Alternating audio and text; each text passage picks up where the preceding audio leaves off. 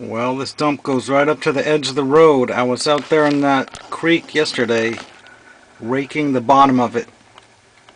There's a nice mixture of late teens and early 20s bottles and all kinds of newer ones mixed in with them. With well, I found a pile that's really close to the road.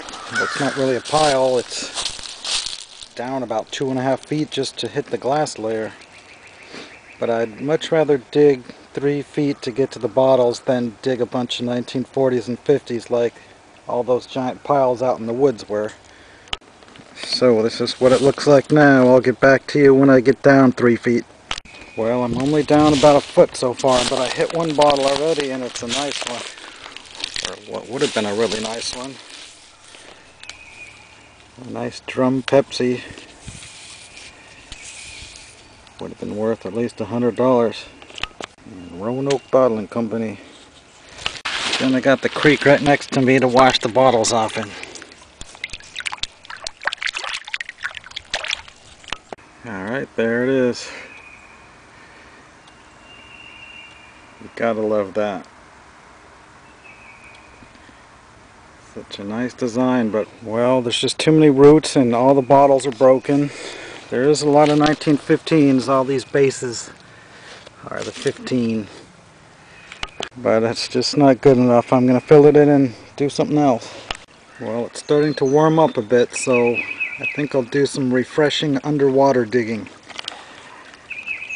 I had pretty good luck yesterday with it. I can see some bottles down in there right now but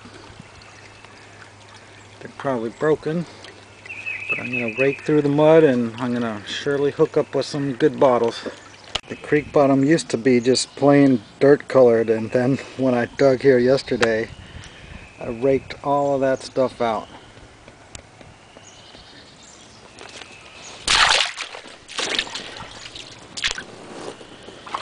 Yeah, the whole bottom was just full of bottles. All kinds of 1915 Cokes. But as you can see, there's some more contemporary Pepsis mixed in there. That's kind of odd. Well, there's a bottle I overlooked because the water was all messed up yesterday. It's a freaking perfect Pepsi bottle.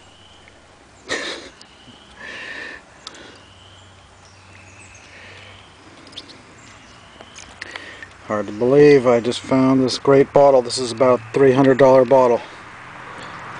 Well, it's from Tarboro and it would have been a really great bottle. It certainly displays nice.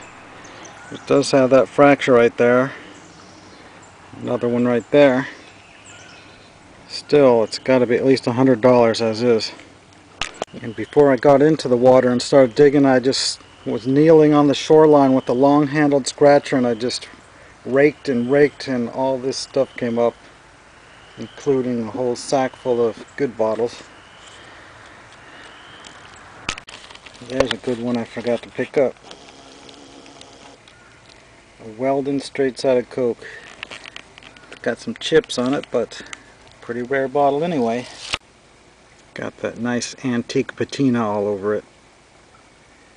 It'll come off with muriatic acid, but it sometimes looks really neat just to leave it like that.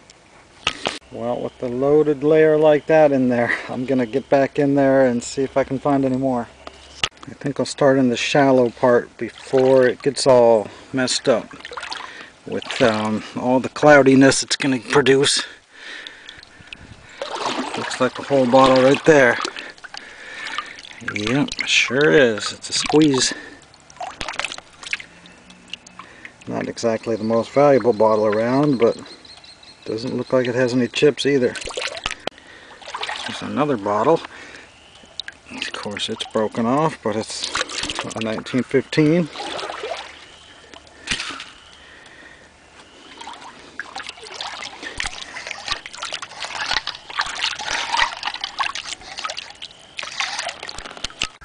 There's a Fleming. Haven't seen any of these yet. Of course it's broken. Well, the bottles aren't everywhere. Just in select few spots. There's one of the few non-soda bottles. There's a couple that somebody probably threw there 30 or 40 years ago. Undoubtedly some bottle diggers must have been to this place before, but it must have been a really long time ago. No signs of any fresh digging around here. There's another one. Of course it's broken. Uh, of course a 1915. There's another one. A bunch of bottles are showing up right in here. It's a really early Chero Cola.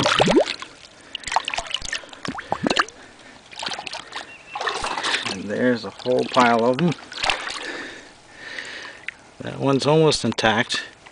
It's a 1915 as you can see. And it's got the really early crude Coca-Cola embossment.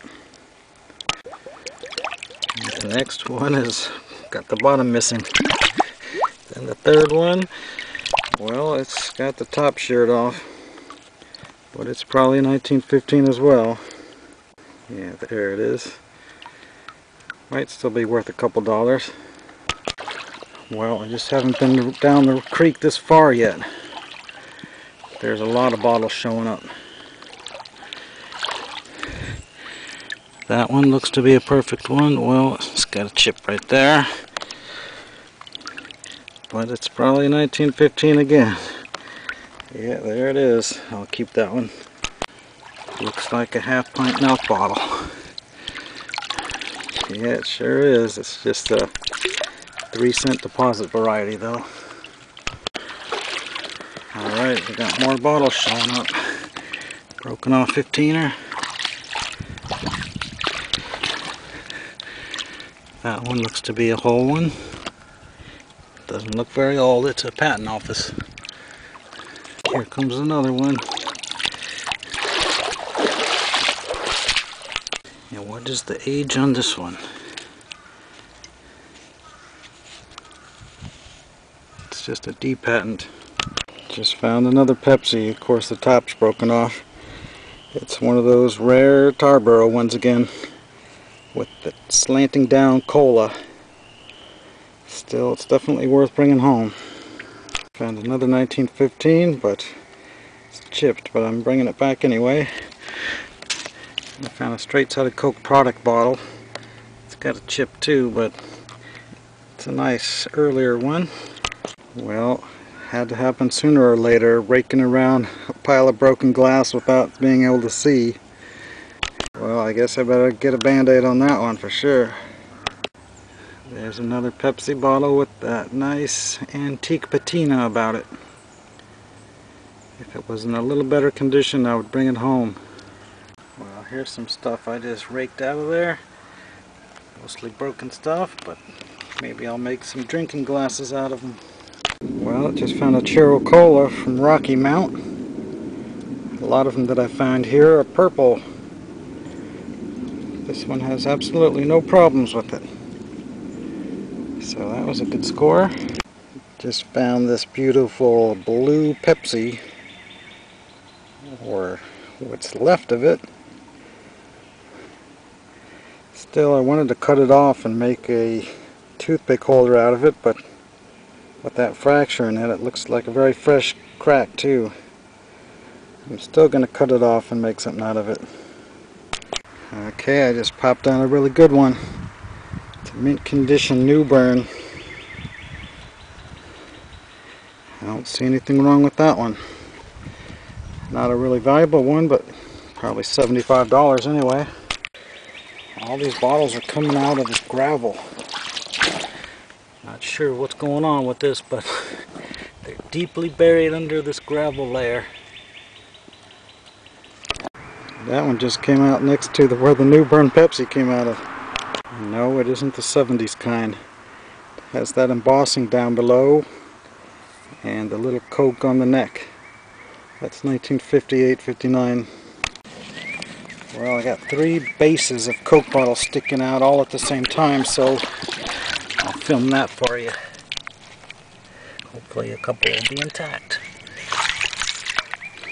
Well, it's broken off just like most of them, but it's a 1915. Yeah, how about this one?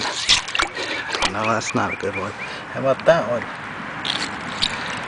Nope. Well, those three were no good, but just after that, popped out this really nice pale one. Nice squared off bottom with no caseware. Just has that big chip on it, but otherwise it's still a $5 bottle. There's another 1915 in that unusual blue color. Of course the top's broken. I'm finding plenty of these with the necks broken off, but I'm to saw it off right there and make drinking glasses out of those. Another Pepsi. No, it's not perfect. But it's a very clean one. First one from Suffolk that I found here. Too bad it wasn't the watermelon slug plated variety. that's definitely worth bringing home. Oh man, I just found a really great one for the mint cola collectors. Of course it's broken in half. But even in that condition it might be worth $10 because this is such an unusual and rare one.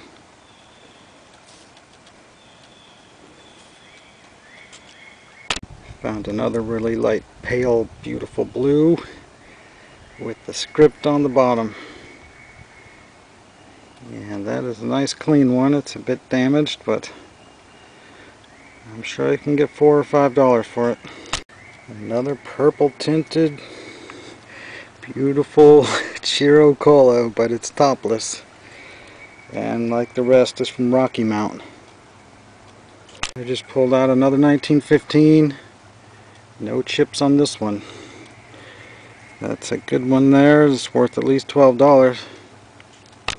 There we have a mint cola. Of course it's broken like most everything. But this one is from Lewisburg. Kind of a long way from home. I don't have this one in my collection. That's a pretty scarce town. Here's the first 1915 that I found from Washington, North Carolina course it's missing its top. Alright, I see one sticking out of the bank. So it might be a whole one. nope. And here's the first example of this I've seen in this dump. It is from Williamston, which is the city that produces the most valuable Pepsi bottle in the world. It's almost as though somebody dumped a giant pile of bottles here and then dumped a giant pile of gravel on top of it because they're just so well hidden. And they're just in such an odd location and gravel's not natural around here. I don't know where it all came from. Another Tarboro Pepsi. It's a little too rough to bring home though. Well I've been finding a fair number of these orange crushes but this seems to be the only perfect one I found no city, but it's still pretty fun to find these.